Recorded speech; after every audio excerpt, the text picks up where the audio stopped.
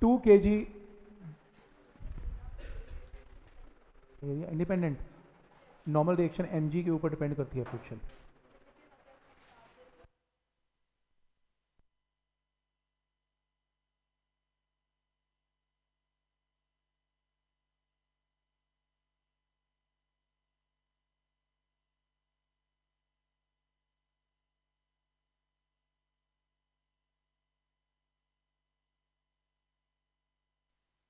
brick begins to slide over a, a, surface which is inclined at an angle of 45 degree with respect to the horizontal.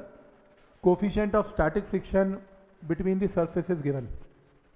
तो निकालना है उल्टा तो क्या करें ये एक इंक्लाइन प्लेन बना लें इंक्लाइन प्लेन पे ये कितना है 45 डिग्री है और कितने का ब्लॉक है 2 के का ब्लॉक है 2 के के ब्लॉक को क्या फोर्स लग रही है 2 जी साइन ऑफ़ 30 और फ्रिक्शन कहाँ करेगी पीछे और फ्रिक्शन की वैल्यू क्या होगी? म्यू इंटू नॉर्मल रिएक्शन और यहाँ पर जो नॉर्मल रिएक्शन होगा एक टू जी है ये 45 डिग्री है ये टू जी कॉस ऑफ़ 45 है और ये टू जी साइन ये 45 है सॉरी 30 नहीं है.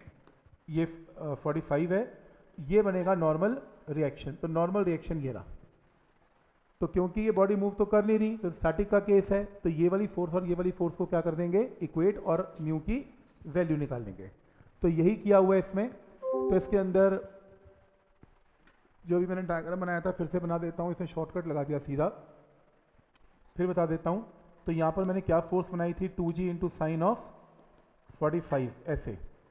और ये थी फ्रिक्शन बॉडी मूव नहीं कर रही तो F is equal to two g sine of forty five mu times normal reaction two g cos of 45 is 2g sine of 45 2g से 2g कैंसल म्यू निकाल लेना, tan ऑफ़ 45 यानी कि 1 आ जाएगा।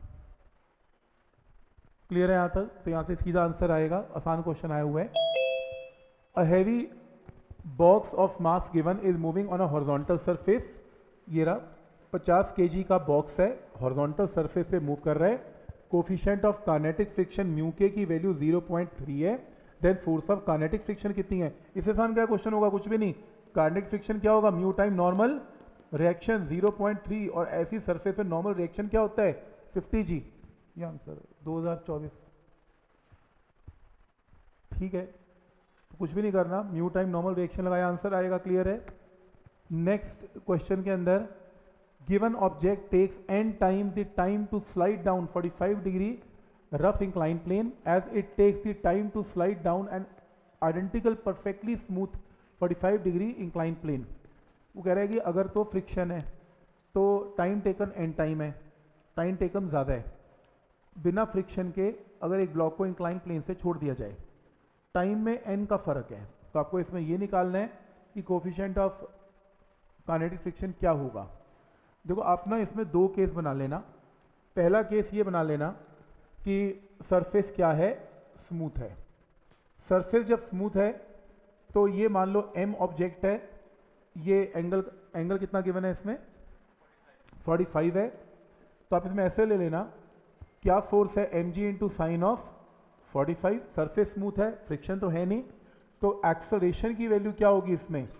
M g sine forty five की force इसको नीचे लेके आ रही है तो कितनी एक्सलेशन से बॉडी नीचे आएगी? जी साइन 45 और सेकंड केस में आप एक काम करना, फिर से ये मास लेना m और फिर से ये 45 degree m g sine of 45 और इस बार क्या कंसिडर करनी है? फ्रिक्शन तो फ्रिक्शन की वजह से न्यू टाइम्स नॉर्मल रिएक्शन यहाँ पे एक्ट करेगा तो m g sine 45 minus mu time normal reaction is mass into acceleration मतलब m g sine of 45 minus mu times m g into cos of 45 is equal to mass into acceleration तो यहाँ से किसकी value आ गई? Acceleration की। Friction के साथ ये एक्सलेशन है। फ्रिक्शन के बिना ये एक्सलेशन है। ठीक है? तो ये आपके पास क्या आ गया? फ्रिक्शन के साथ और फ्रिक्शन के बिना एक्सलेशन आ गई। क्लियर है यहाँ तक? क्योंकि दोनों में एक्सलेशन का फ़र्क है। अब एक काम करना, दोनों ने डिस्टेंस तो एस कवर करना है। दोनों के लिए u की वैल्यू क्या रहेगी? ज़ीरो रेस से स्टार्ट हुई। फ़र्स्ट बॉडी के लिए अप्लाई कर लेना। S is equal to zero plus half a into a into t का square equation number one a को ये पुट कर लेना। सेकेंड केस में फिर से अप्लाई करना। S is equal to zero plus half into a into n times t का स्क्वायर क्योंकि क्वेश्चन में ये गिवन है कि जो फ्रिक्शन के साथ टाइम टेकन है, वो एन टाइम्स है। तो तुम इस एक्सलेशन को उठा के यहाँ पे पुट कर लेना। Friction time taken n times है ना? इसमें समय टी है तो इसमें एन इंटू टी है। एक ही बात है। टी डैश पुट एक एक ही बात है। तो इसमें एन इंटू टी है। टी टाइम छोटा लगेगा ना, ये एन इंटू टी हो जाएगा। तो बस इसे equation number one and two को इक्वेट कर लेना। सिंप्लीफाई करके अपना एन आ जाएगा, बात म्यू आ जाएगा। निकाल लेना आंसर। तो मेथड समझ में आ रहा है क्या करना है? पहले बिना फ्रिक्शन विद फ्रिक्शन ए निकालना पड़ेगा। एस दोनों का सेम है यू दोनों का सेम है। तो यहाँ से एक में टाइम टेकन टी है तो दूसरे में एन टाइम्स टी क्वेश्चन में गिवन है और फिर दोनों इक्वेशन को इक्वेट करके अपना आंसर निकाल लेना। मेथड सबको समझ में आ रहा है कि क्या लॉजिक है इसमें? ठीक है यहाँ तक? तो इस लॉजिक के साथ इस क्वेश्चन को ट्राई करना है आपने। और एक एक, दो दो बार तो और तीन चार चार बार क्वेश्चन आया हुआ है यार, थोड़ा नहीं होता चार बार का क्वेश्चन ये। ठीक है? तो नेक्स्ट क्वेश्चन है। एक ब्लॉक है, एक ट्रॉली है। If coefficient of kinetic friction between the trolley and the surface is given तो ये कोफिशियंट ऑफ़ कानेटिक फ्रिक्शन की वैल्यू क्वेश्चन में 0.04 गिवन है। The acceleration of the system निकालना है।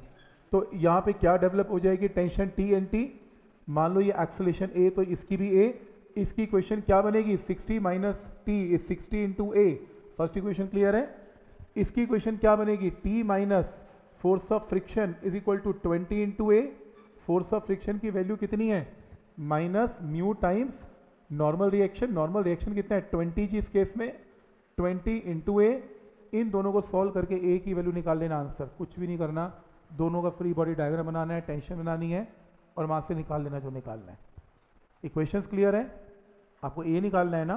तो इसकी equation 60 minus sixty newton minus t sixty है। और इसके लिए टी माइनस सिक्स है। सिक्स है ओके सिक्स है, क्योंकि मास इसका सिक्स है okay done sixty minus t six है, और इसके लिए t minus force of friction is twenty है। तो ये निकाल लेना आंसर आ जाएगा। मेथड समझ में आ रहा है? सिंपल है क्वेश्चन कोई कॉम्प्लेक्स क्वेश्चन नहीं है, बिल्कुल भी। Given below two statement the limiting force of static friction depend upon area of contact बिल्कुल गलत एरिया पे तो बिल्कुल भी फ्रिक्शन डिपेंड करती ही नहीं। गलत है। The limiting force of kinetic friction is independent of area of contact बिल्कुल ठीक है। And depends upon the material बिल्कुल ठीक है। म्यू जो है वो मटीरियल को रिप्रेजेंट करता है। तो यानी कि पहली स्टेटमेंट रॉन्ग है, दूसरी स्टेटमेंट करेक्ट है।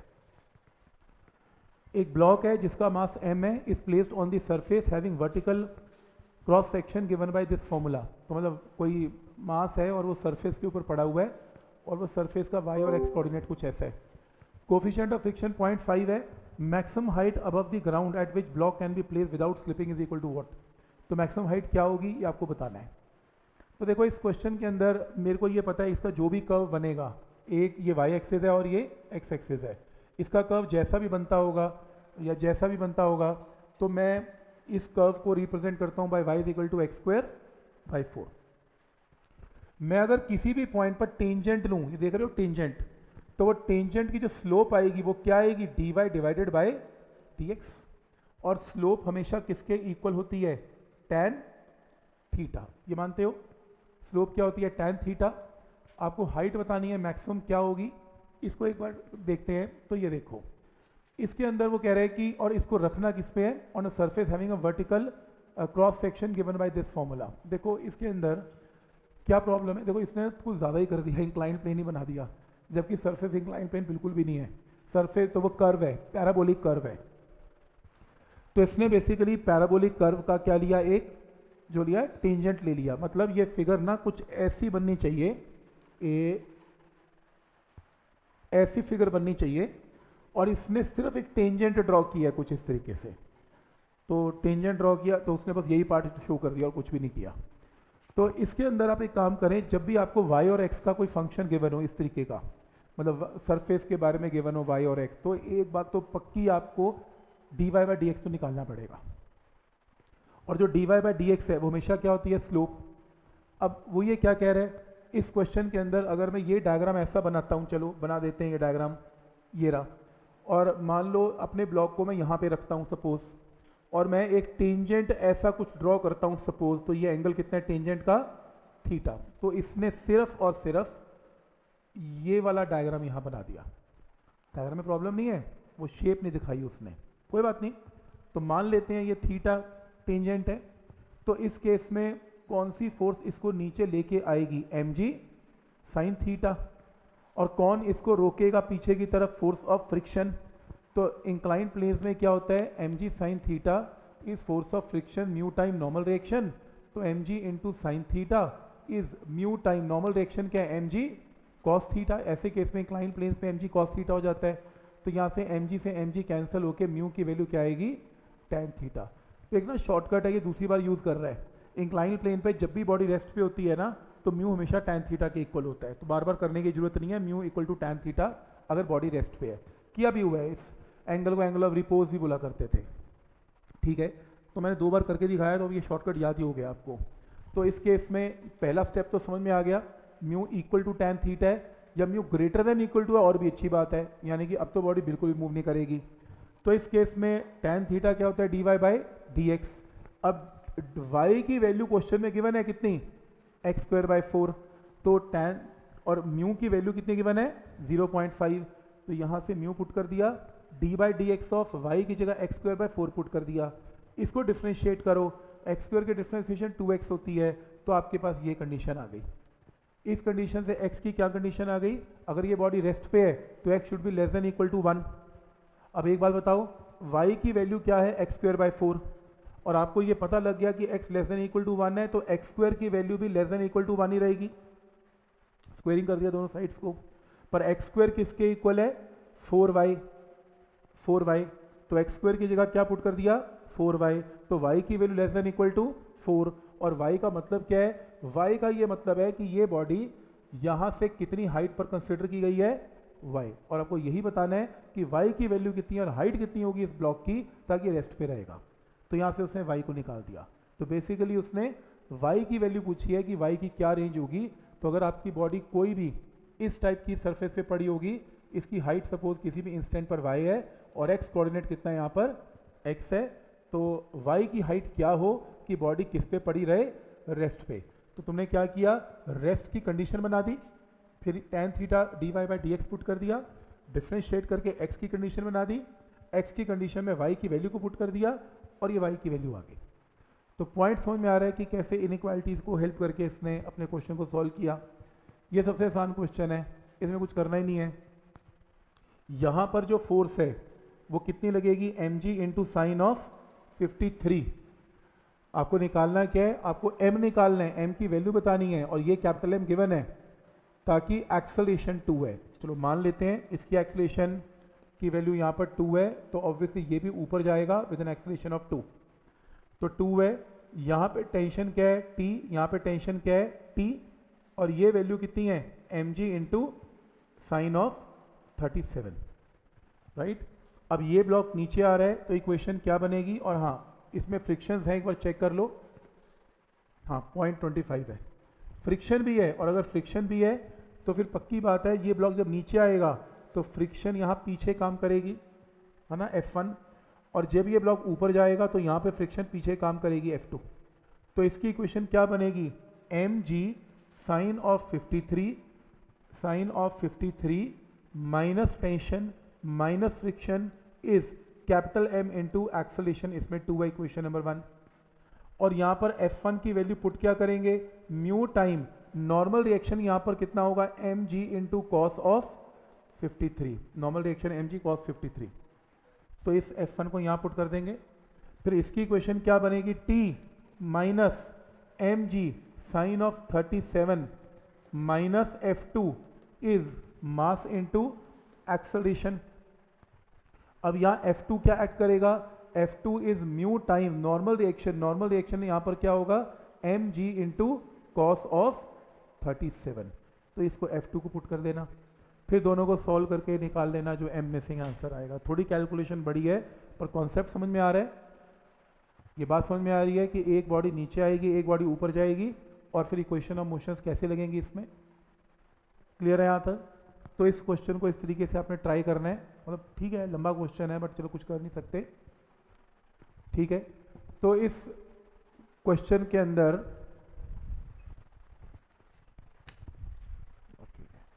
ठीक है? इसके अंदर ये फाइव के का ब्लॉक है म्यू आपको 0.1 गिवन है। If F one is the force required to just move the block up the incline plane and F two is the force required to just prevent the block from the incline plane आज मैंने ये करवाया अभी आपको। कैसे? उसने कहा कि देखो, ये ब्लॉक नीचे आने की कोशिश करेगा। क्यों? फाइव जी साइन ऑफ़ 30 इसे नीचे लेके आएगी। आपने फोर्स सबसे पहले कितनी अप्लाई की? एफ़ वन ताकि ये F1 is the force required ताकि ये ब्लॉक जस्ट मूव ये जस्ट की बड़ी इंपॉर्टेंस है फ्रिक्शन में. जस्ट का मतलब बॉडी मूव नहीं करेगी. या कांस्टेंट वेलोसिटी को बोलते हैं जस्ट मूव या मूव ना करना, ये कांस्टेंट वेलोसिटी होना. मतलब एक्सेलरेशन तो बिल्कुल ज़ीरो है. तो इस केस में आप ये चाहते हो कि ये ब्लॉक कहाँ पर जाए? अब तो फ्रिक्शन की डायरेक्शन कहाँ लगेगी? डाउन 5 जी कॉस 30 तो फिर F1 की वैल्यू क्या होगी? दिस प्लस दिस F1 आ जाएगा, क्योंकि वो ऊपर लेके जाने की कोशिश कर रहा है, लेकिन ऊपर लेके नहीं जा पा रहा, बात अलग है। लेकिन अब वो क्या कह रहे हैं कि F2 is the force 5g sine 30 F2 is the force ताकि ये ब्लॉक कहाँ पर आ जाए? Just prevent the block from sliding down अब इसकी टेंडेंसी कहाँ जाने की है ब्लॉक की? नीचे। तो फ्रिक्शन कहाँ एक्ट करेगी? ऊपर। अब फोर्स कैसे बनेगी? This plus this is equal to this अब F2 निकाल लेना। तो मतलब पहले केस में ब्लॉक कहाँ जा रहे हैं? नीचे। तो फ्रिक्शन कहाँ पर है? ऊपर। और दूसरे केस में ब्लॉक कहाँ नहीं, पहले केस में ब्लॉक कहाँ आ रहा है? ऊपर। तो फ्रिक्शन क्या है? नीचे। दूसरे केस में ब्लॉक कहाँ आ रहा है? नीचे। तो फ्रिक्शन कहाँ है? ऊपर। तुम्हारी फोर्स तो हर वक्त ऊपर ही लगेगी। तुम थोड़ा नीचे लगाओगे। तुम तो ऊपर ही रोक के रखोगे। तो आइडिया समझ में आ रहा है कि कैसे हमने फ्रिक्शन की डायरेक्शन को चेंज किया F1 F2 में और वहाँ से F1 F2 जो भी होगा, आपको फिर डिफरेंस भी निकालना वो निकाल लेना। तुम पहले एफ़ वन निकाल लेना, फिर तुम एफ़ टू निकाल लेना, फिर दोनों का डिफरेंस निकाल लेना। समझ में आ रहा है कि क्या लॉजिक है इसमें? जैसे बुलेट जिसका मास है पॉइंट वन के जी इसे चेक करो। पॉइंट वन के जी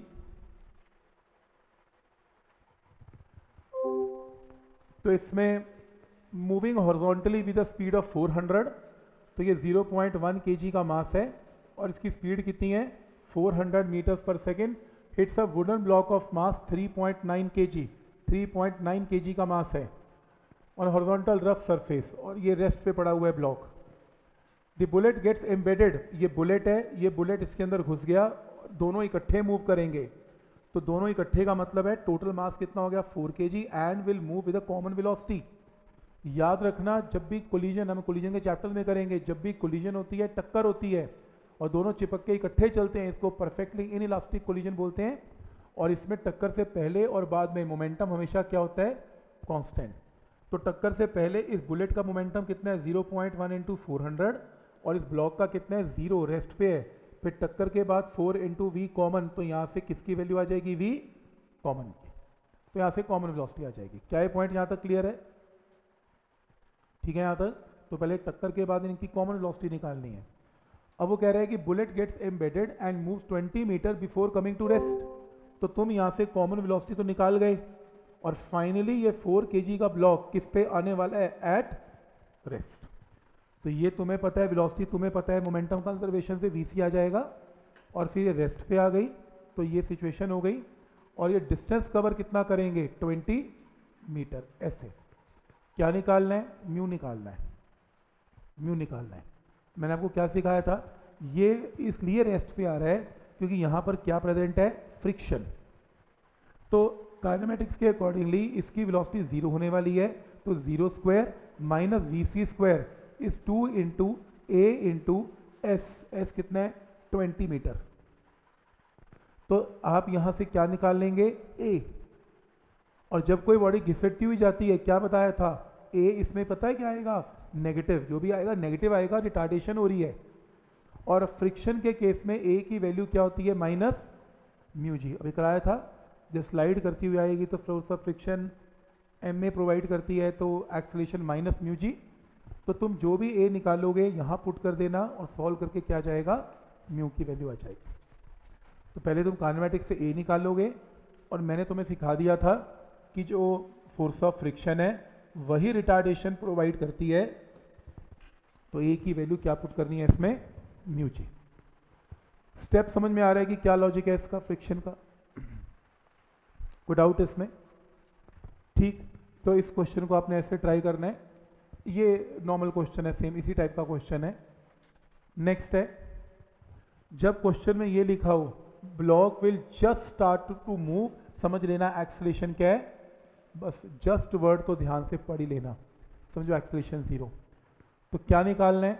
वो कह रहे हैं टेन के का ब्लॉक है, दस किलो का ब्लॉक है फोर्स आपने एफ़ अप्लाई कर दी है तो थर्टी डिग्री पे की, और आपको एफ़ निकालना है। तो हमने किया ये आज, इसका कंपोनेंट लो। एफ़ इंटू कॉस ऑफ़ कितना? थर्टी ये क्या बनेगा? एफ़ इंटू साइन ऑफ़ कितना? थर्टी तो टेन के का ब्लॉक है। फ्रिक्शन कहाँ एक्ट करेगी? पीछे। तो पीछे की फोर्स एफ़ है, आगे की कितनी है? एफ़ कॉस थर्टी और वेट कितना है ब्लॉक का? टेन जी नॉर्मल रिएक्शन क्या है? एन तो सबसे पहले नॉर्मल रिएक्शन निकालते हैं। F sine thirty plus normal reaction is equal to ten G इन दोनों का सम टेन जी के इक्वल है। तो यहाँ से नॉर्मल रिएक्शन की वैल्यू आ गई ten G minus F into sine of thirty N निकाल लिया मैंने। नेक्स्ट है, कौन सी फोर्स इसको आगे लेके जा रही है? एफ़ कॉस थर्टी और पीछे की फोर्स क्या है एफ़ पर प्रॉब्लम यह एक्सलेशन तो है ही नहीं। यानी कि आगे की force F cos thirty is equal to पीछे की फोर्स एफ़ तो एफ़ कॉस थर्टी की वैल्यू क्या आएगी? म्यू टाइम्स नॉर्मल रिएक्शन तुम इस पूरे एन को यहाँ पे पुट करके एफ़ निकाल लेना एफ़ आ जाएगा आंसर एफ़ की वैल्यू आएगी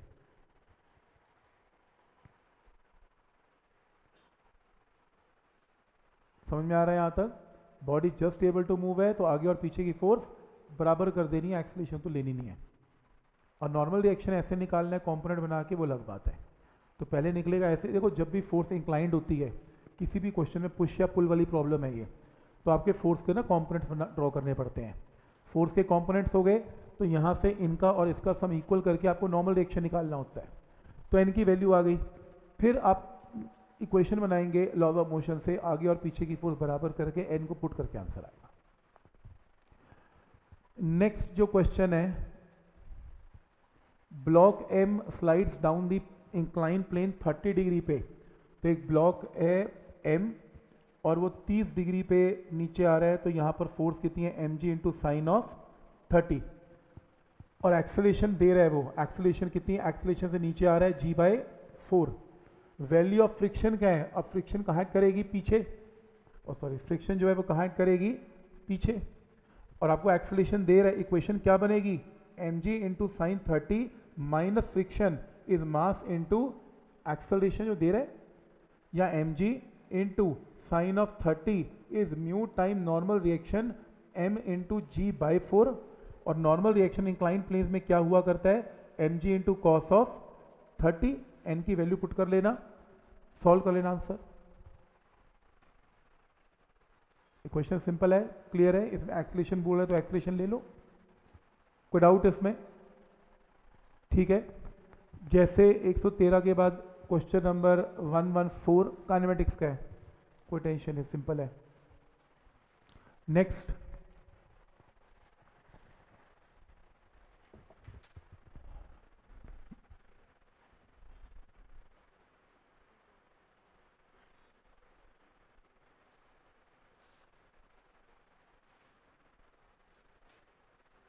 ये साथ साथ सॉल्व करने हैं? ये क्वेश्चन जितने भी हैं, ये तो मैक्सिमम नहीं, आपको घर पे ही करने हैं सॉल्व तो यार। डेढ़ घंटे में अगर यहीं सॉल्व हो जाते, यहीं वैरायटी भी हो जाती थ्योरी भी हो जाती तो लोगों को सीटें ऐसे ना मिल जाती एंड में एक महीना पढ़ के। ये तो मतलब ये काम तुम्हारा घर पे स्टार्ट है। यहाँ तो आप बस जितनी जल्दी हो सकता है वैरायटी दे के जा रहे हो कि ऐसा करना है आइडिया लेके जा रहे हो। करना तो खुद ही पड़ेगा।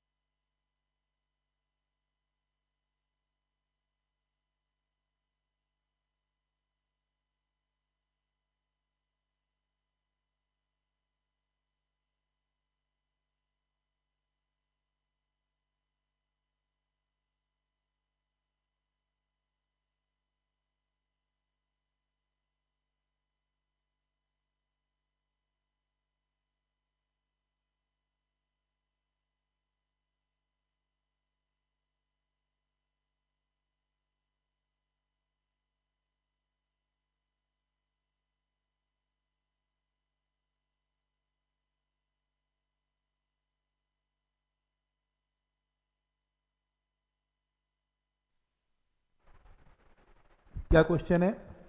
Bag is gently dropped on a conveyor belt moving at a speed of two metre per second एक बेल्ट मूव कर रही है और इसकी speed two metre per second है और जेंटली इसके ऊपर ब्लॉक को इसके ऊपर रख दिया गया।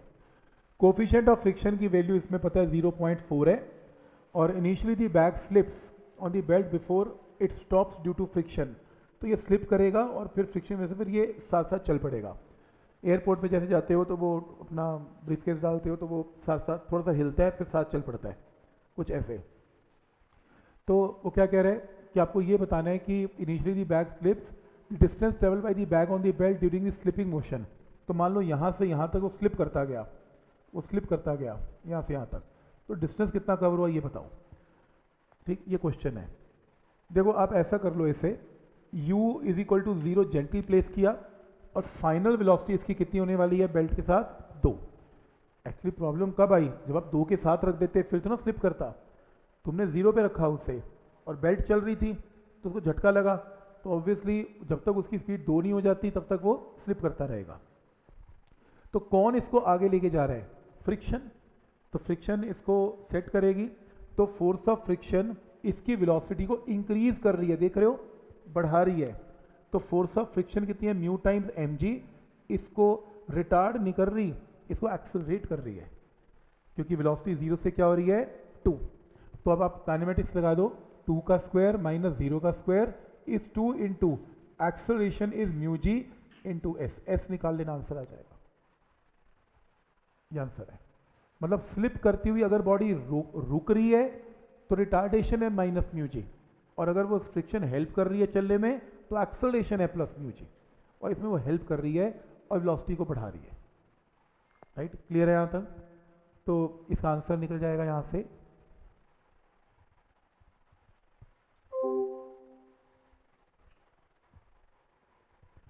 नेक्स्ट है, सिस्टम ऑफ़ टू पार्टिकल्स या ब्लॉक्स ऑफ़ मासेस गिवन। तो एक मास टू के का मास है और एक मास जो है वो एट के का मास है। तो ये टेबल पे पड़ा हुआ है coefficient of static friction between the two blocks is point five ये लो। यहाँ पर म्यू म्यू की वैल्यू कितनी है? Zero point five maximum horizontal force मैं कितनी लगाऊँ इसके ऊपर? So that the two blocks move together ये इकट्ठे चलें। अगर ये इकट्ठे चल पड़े विद सेम एक्सलेशन तो total mass into total acceleration हो जाएगी। तो अगर मैं तुम्हें ए बता दूँ तो एफ़ आ जाएगा। अब ए की वैल्यू कौन डिसाइड करेगा? ये करेगा, वो क्यों करेगा? क्योंकि ये गिर सकता है। अब प्रॉब्लम क्या है? इसकी सरफेस के अंदर, यहाँ पर, जब आप इसे आगे मूव करवाएँगे तो इसमें देखो, ये जो ये जो नीचे वाला ब्लॉक है, इस पर फोर्स राइट लग रही है तो फ्रिक्शन इसके ऊपर पीछे लगेगी। बाय एक्शन एंड रिएक्शन अगर इस ब्लॉक पे फ्रिक्शन पीछे लगेगी तो इस पे फ्रिक्शन आगे लगेगी। और यही वो फ्रिक्शन है जो इस ब्लॉक को हेल्प कर रही है कि ये साथ चल पड़े। क्योंकि साथ चलने की कोई तो फोर्स चाहिए और वो फोर्स कौन है? फ्रिक्शन तो यहाँ पे फ्रिक्शन की वैल्यू जो भी एक्सलेशन जनरेट करवाएगी, वो एक्सलेशन इनकी कॉमन एक्सलेशन होगी। क्योंकि फ्रिक्शन जो है, इसको हेल्प कर रही है आगे मूव करने के लिए और फोर्स ऑफ़ फ्रिक्शन कितनी है? म्यू टाइम्स टू जी यहाँ पे नॉर्मल रिएक्शन क्या होगा इस सरफेस पे? Two G is equal to two into A सबसे पहले काम करना ए निकाल लेना, उस ए को यहाँ पुट कर देना। आंसर तो एक्सलेशन की वैल्यू कौन जनरेट करवा रहा है? ये जनरेट करवाएगा। क्योंकि इसको तो कितनी भी एक्सलेशन दे दो, इससे तो नीचे गिरना नहीं है तो पहले गिरा हुआ है। गिरना किसने ऊपर वाले ब्लॉक ने तो एक्सलेशन कौन जनरेट करवाएगा? ऊपर वाला ब्लॉक तो ऊपर वाले ब्लॉक की फ्रिक्शन से ज़्यादा आपकी फोर्स नहीं हो सकती, नहीं तो सेपरेट हो जाएँगे। तो ये लास्ट वैल्यू है फ्रिक्शन की जो इसमें एक्सप्रेशन जनरेट करेगी तो वहाँ से ए निकाल के दोनों के एक्सप्रेशन को कॉमन कर देना। ठीक तो ये ट्रिक है ब्लॉक्स के ऊपर ब्लॉक की ट्रिक है जो। ये सिंपल है। एक स्टील ब्लॉक है।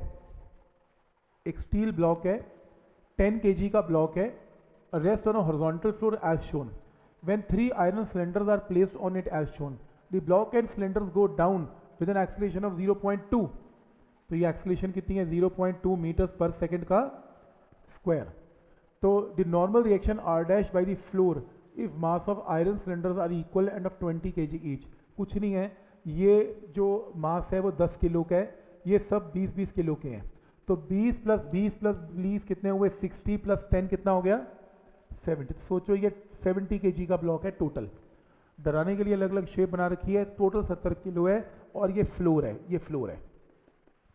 और ये पूरा सिस्टम नीचे जा रहा है इतनी एक्सलेशन के साथ। आपको नॉर्मल रिएक्शन बताना है इसमें क्या लगेगा आर डैश हमने किया हुआ है ये। लास्ट टाइम किया लिफ्ट वाला केस हो गया। लिफ्ट वाले केस में हमने क्या फॉर्मूला किया था? अगर लिफ्ट नीचे आती है M into G minus A M into G minus A mass की जगह 70 और ए की जगह 0.2 कर लो सॉल्व आंसर पॉइंट समझ में आ रहा है यहाँ तक? ठीक है? तुम डराने के लिए तुम एक ब्लॉक लो और एक ब्लॉक में फ्लोर पे क्या नॉर्मल रिएक्शन लगाया, बस वो कैलकुलेट कर दो।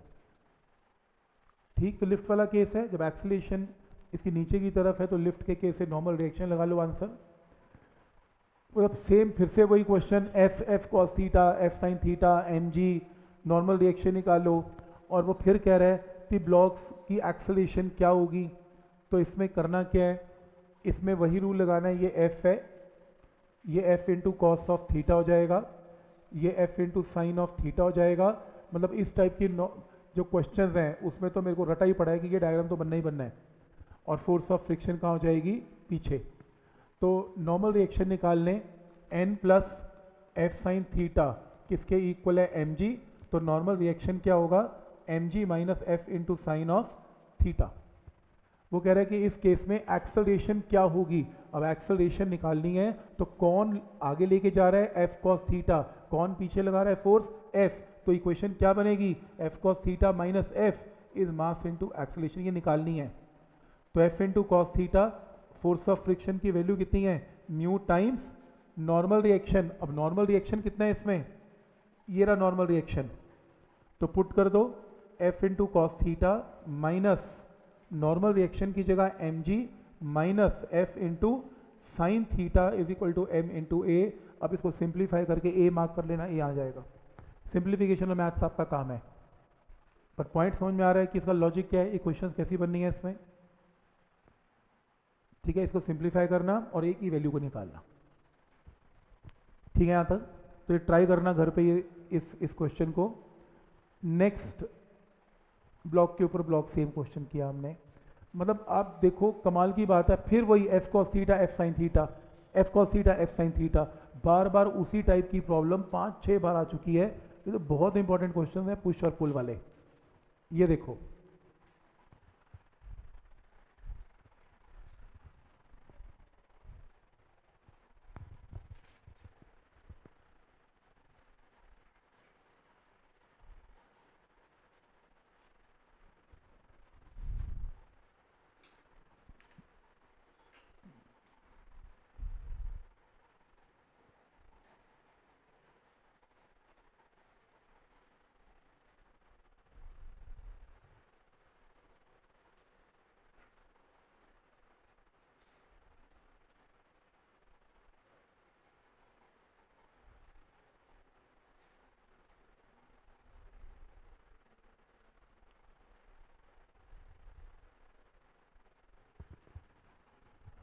तो इसमें क्या क्वेश्चन है?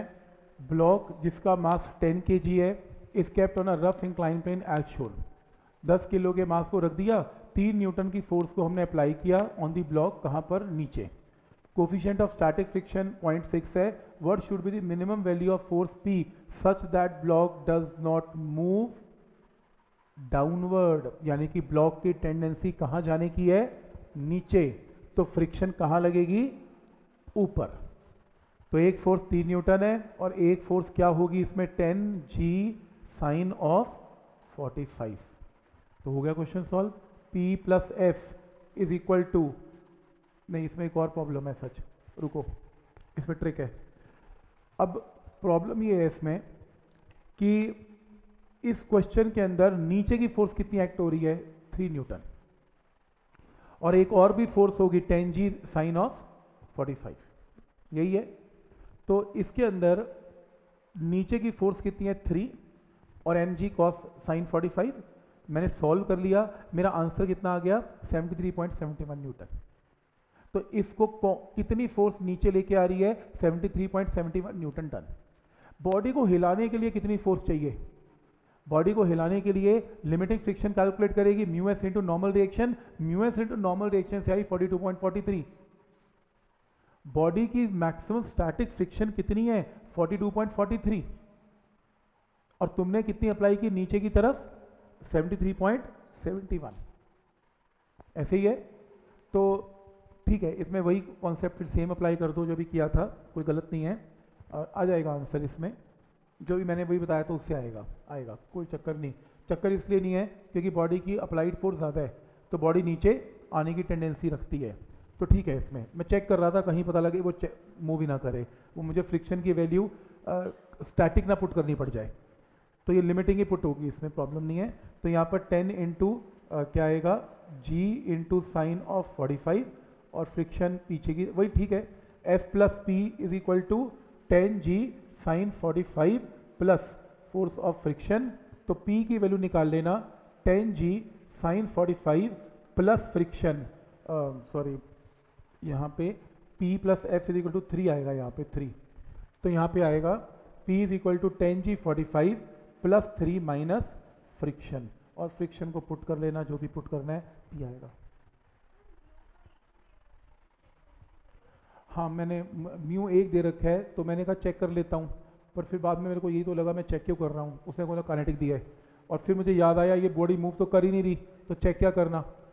मैं जब कर रहा था तो मैंने कहा, चेक कर लेता हूँ, पर चेक करने का फ़ायदा ही नहीं हुआ ना। वो कह रहा है, बॉडी मूव कर ही नहीं रही। जब बॉडी मूव ही नहीं कर रही तो कानेटिक का चेक क्या करूँगा तो पता ही फिर स्टैटिक है।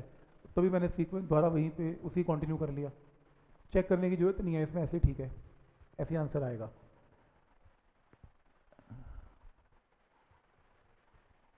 ये लो। एम वन मास है एम मास है एम टू मास है। मतलब बेसिक कॉन्सेप्ट सिर्फ़ इतना सा है। वो कह रहा है कि एम वन ले लो एम टू भी ले लो और यहाँ पे फ्रिक्शन भी ले लो। बताओ एम क्या हो कि पूरा सिस्टम रेस्ट पे रहे? सिस्टम को नीचे फोर्स लगा कौन रहा है? M one G. और अगर ये भी रेस्ट पे है तो पहली क्वेश्चन क्या बनेगी? M one G is equal to T और ये सिस्टम अगर रेस्ट पे रखना है तो T must be equal to force of friction और फोर्स ऑफ़ फ्रिक्शन यहाँ पर क्या बनेगा? M two plus M into G तो ये टी और इस टी को इक्वेट कर लो। रेस्ट पे इक्वेशंस हैं। इक्वेट करके निकाल लेना आंसर आ जाएगा। तो कुछ नहीं करना। मतलब net force zero net force zero करते रहो दोनों ब्लॉक्स का। टी और टी को इक्वेट करके आंसर आएगा। ट्राई कर लेना।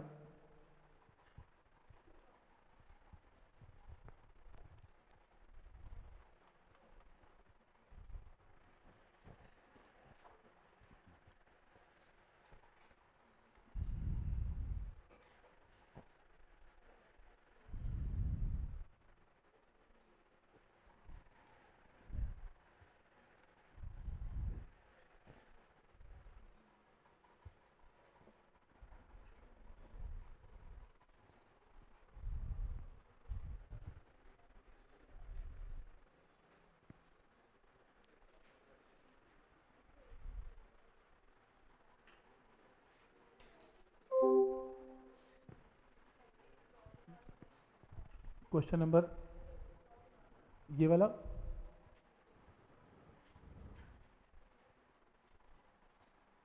ये करना है? कर लो? कर, मुश्किल लग रहा है। मेरे को तो कुछ नहीं तो ठीक ही लग रहा है। तभी छोड़ दिया मैंने।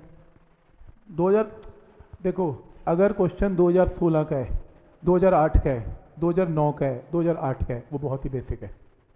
अगर क्वेश्चन 2018 का है उन्नीस का है, बहुत ही खतरनाक है। अगर क्वेश्चन 2024 का है, वो मेरे ख्याल से पूरी हिस्ट्री में सबसे आसान क्वेश्चन है। और अगर 2023 का है, वो 24 से हल्का सा आसान से मतलब अगर ये बहुत आसान है तो वो आसान है। अगर 22 का 21 का है तो वो मॉडरेट है। बस मैंने आपको ये बता दिया। तो तुम 2024 जैसा पेपर अगर आ जाए, ये तुम्हारा लक है कि मतलब तुम्हारी किस्मत खुल जाए। और अगर 2018-19 आ जाए मैं गारंटी के साथ बोल सकता हूँ मतलब कि तुम्हारे माथे पे पसीने आने ही हैं वहाँ पे। पर चिंता मत करना, तुम्हारे पड़ोसी का भी वही हाल होगा जो तुम्हारा है। तो मार्क्स कई बार गिर जाते हैं। 140 150 पे भी 98 परसेंटाइल आते देखे हैं, सिर्फ़ 140 स्कोर के ऊपर 300 में से। तो आप घबराना नहीं, सभी का यही हाल है। और स्पेशली जब ये पेपर मैथमेटिक्स को लेके जब सेक्शन आता है तो लोग बड़े हाई स्पीड्स के साथ जाते हैं। मैं बीस करूँगा, मैं तेईस करूँगा, मैं मैं तो मैथ्स में पता नहीं मैंने क्या किया। मैं आपको बता रहा हूँ फिजिक्स में तो फिर भी आप देखेंगे अटैम्प्ट होता हुआ। आप केमिस्ट्री में भी देखें अटैम्प्ट होता हुआ। मैथ्स के अंदर अटैम्प्ट सबसे लो जाता है। बिल्कुल मत घबराना, सभी का लो जाता है। सभी का लो जाता है। मैंने स्टूडेंट को सिर्फ़ 10 क्वेश्चंस ठीक करते हुए 99 परसेंटाइल से ऊपर मैथ्स में तो देखा है। सिर्फ़ 10 क्वेश्चन कईयों को तो आठ के ऊपर भी 98 परसेंट लाता देखा है। तो घबराना नहीं। ओवर एक्सपेक्टेशन बिल्कुल भी नहीं करनी। मुझे नहीं पता आपके सेट में क्या आएगा। क्या पता आपके सेट में आसान पेपर आए और पंद्रह भी हो जाएँ। बट मैं आपको बता रहा हूँ, आप इस चक्कर में बिल्कुल ना पढ़ना। मेरी अटैम्प्ट लो है, मेरी सिलेक्शन नहीं होगी। अगर आपकी लो है ना तो चिंता ना करो, सारी दुनिया की लो हो रही है। और अगर आपकी फास्ट चल रही है ना तो चिंता ना करो, आपके पड़ोसी को भी कुछ ना कुछ आता ही होगा 2024 के हिसाब से। ठीक? तो मतलब उसकी चिंता ना करो, बस आप जो मैक्सिमम कर सकते हो कराना। और तैयारी अच्छी सी कर लो।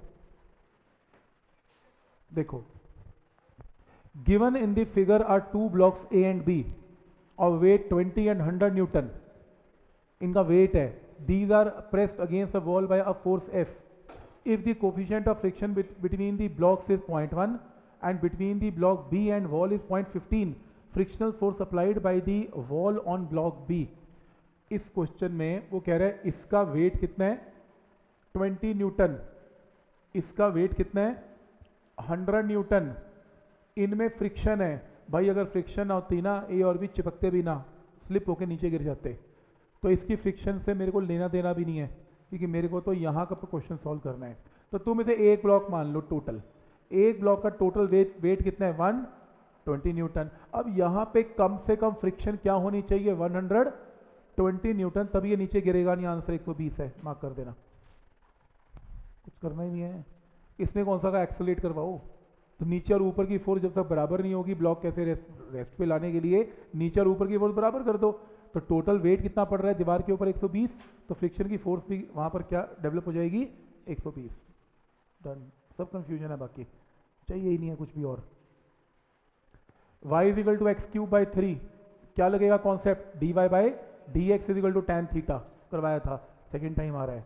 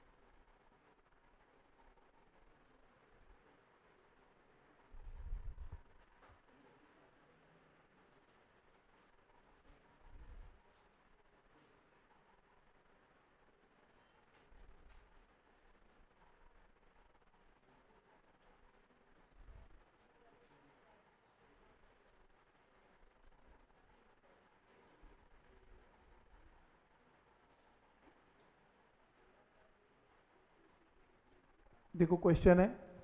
Body start from rest on a long incline plane of slope 45 तो इंक्लाइन प्लेन की स्लोप मतलब एंगल जो है 45 है।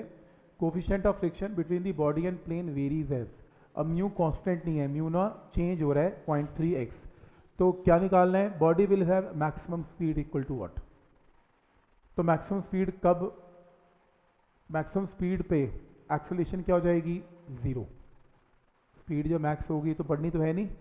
मैक्सिमम स्पीड के बाद तो उसकी बढ़ेगी नहीं। तो एक्सलेशन क्या हो जाएगी? ज़ीरो तो तुम सिर्फ़ एक्सलेशन निकालो, उसको ज़ीरो पुट कर दो। तो तुम इसके अंदर एक्सलेशन निकालो जो कि क्या होगी? M G sine theta minus friction is M A equation क्या लगेगी इसमें? ये लगेगी ना? तो नीचे की फोर्स कितनी है? एम जी साइन थीटा 45 है, खैर थीटा पुट कर देते हैं 45 minus mu times M G cos 45 ये friction is mass into acceleration mass mass mass cancel तो ये आ गया। इसके अंदर म्यू की वैल्यू पुट कर दो तो एक्स की फॉर्म में तो ये क्या आ गई? एक्सलेशन आ गई। वो कह रहा है वेलोसिटी जब मैक्स होगी तो एक्सलेशन को क्या कर दो? ज़ीरो ज़ीरो करके एक्स निकाल लेना आंसर समझ में आ रहा है यहाँ तक क्या करना है? एक्सलेशन तो निकाल लोगे। बस उस एक्सलेशन को ज़ीरो पुट कर देना खत्म। बस वेलोसिटी मैक्स है। कैलकुलेशन को क्या करना है तुमने? उसको ज़ीरो पुट कर देना म्यू को वैल्यू पुट कर देना। आंसर आ जाएगा। कुछ करना ही नहीं है।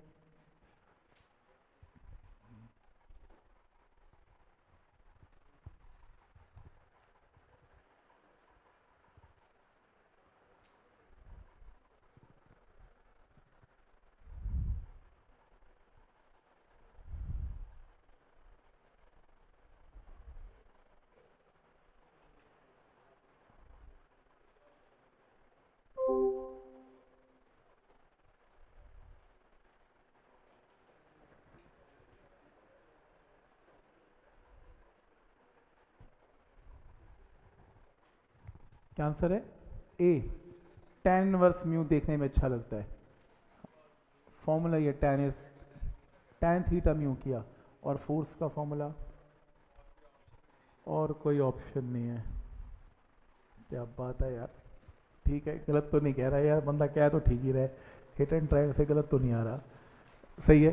तो block weight W rest on horizontal floor with coefficient of static friction की वैल्यू इस क्वेश्चन में given है it is desired to make the block move by applying minimum amount of force angle theta from the horizontal at which the force should be applied magnitude of force क्या होगी ये रखो block ये रहा wait इस पे force लगाओ F at an angle of theta तो फोर्स का एक component F cos theta force का दूसरा component F sin theta normal reaction N और वेट कितना W और ये फ्रिक्शन तो normal reaction plus F sine theta equal to W तो normal reaction is equal to W minus F into sine of theta right तो normal reaction आ गया। उसने ये बोला मिनिमम अमाउंट ऑफ़ फोर्स है तो मिनिमम में एक्सलेशन को क्या पुट करना पड़ेगा? ज़ीरो तो ये और ये बराबर कर दो। तो मतलब F into cos theta is equal to force of friction तो F into cos theta mu times normal reaction F into cos theta mu times normal reaction की वैल्यू पुट कर दो, W minus F into sine of theta simplify करो force निकाल लो। लेकिन उसने force नहीं पूछा, उसे मिनिमम फोर्स पूछा। उसने पूछा मिनिमम फोर्स क्या होगी इसके अंदर? तो जब आप ये कैलकुलेशन करोगे फोर्स ये आएगी। ये नॉन मेडिकल वालों का क्वेश्चन है वैसे, आपको फोर्स को मिनिमाइज करना है तो कैलकुलस इस फोर्स को विद रिस्पेक्ट टू थीटा क्या कर देना है? डिफ्रेंशिएट क्योंकि एंगल थीटा वेरिएबल है। और डिफ्रेंशिएट करके इक्वल टू ज़ीरो तो यहाँ से टैन थीटा म्यू आएगा। Tan theta equal to mu पे फोर्स क्या आएगा? मिनिमम फिर आपको मिनिमम फोर्स की वैल्यू बतानी है, क्योंकि तुम फोर्स का ये फॉर्मूला निकाल चुके हो। और तुम यहाँ पर D F by D theta को ज़ीरो पुट करोगे, इस फोर्स को यहाँ पुट करोगे, और डिफ्रेंशिएट करके tan theta is equal to mu की वैल्यू पे फोर्स मिनिमम आएगी। जब सॉल्व करोगे, फिर इसकी वैल्यू को कैसे सिंप्लीफाई करोगे? F will be equal to mu times M G की जगह weight into cos theta mu into sine theta एक काम करोगे राइट एंगल ट्राइंगल लोगे। टेन थीटा म्यू का मतलब है म्यू बाय वन तो ये साइड क्या है? वन प्लस म्यू स्क्वायर तो यहाँ पे कॉस थीटा की वैल्यू सॉल्व करके क्या आएगी? One upon under root of one plus mu square और साइन थीटा की वैल्यू सॉल्व करके क्या आएगी? Mu by under root of one plus तो तुम sine theta and cos theta को यहाँ पुट करके अपना ऑप्शन मार्क करोगे। ये मैथ्स वालों का काम है मैक्सिमम मिनिमा करके मिनिमम फोर्स को निकालना। मेडिकल देखो, तुम्हारी किस्मत ठीक है तो चल भी जाएगा। ना हुई तो उसकी गारंटी कौन लेगा?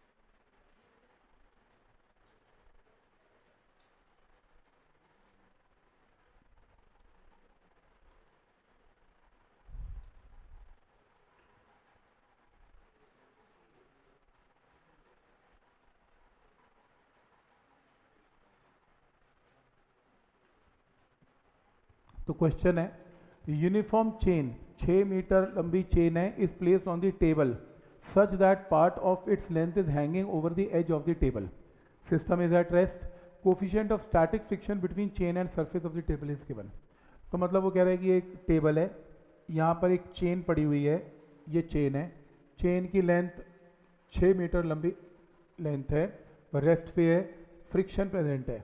आपको और म्यू की वैल्यू गिवन है 0.5 टेबल के ऊपर। आपको maximum length of the chain बतानी है कितनी लटक सकती है ताकि ये रेस्ट पे रहे। तो मान लो एक्स है तो ये कितना हो गया? सिक्स माइनस एक्स है। चेन का ये लटकती हुई चेन का मास क्या होगा? इसका जो मास होगा इसका मास होगा, अगर लेंथ सिक्स है तो मास एम है।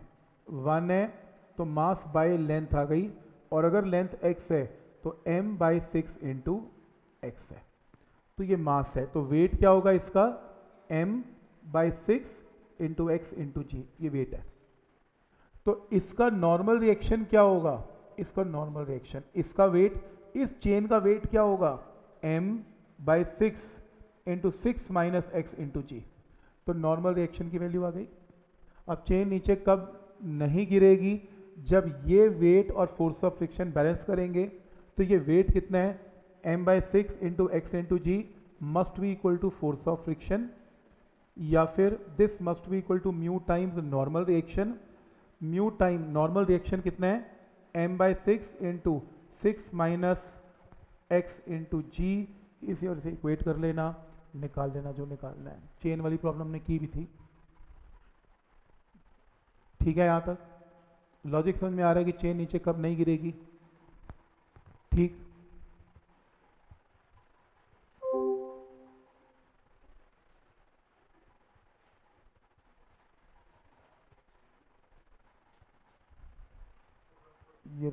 140?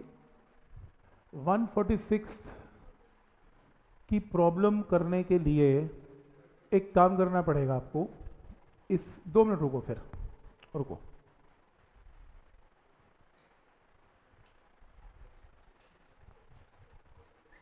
ये रहा।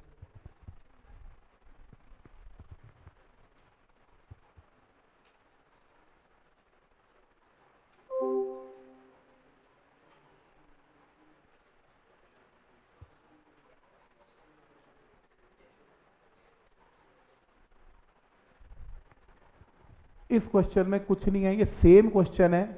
वो कह रहे हैं कि as shown in the figure the block of mass root three K G is kept on horizontal rough surface of coefficient of friction one by three root three critical force to be applied on the vertical surface is as shown at an angle of sixty तो force F साठ degree पे act कर रही है।